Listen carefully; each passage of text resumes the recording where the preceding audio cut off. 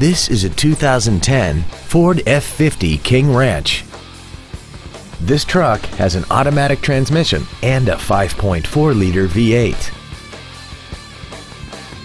All of the following features are included.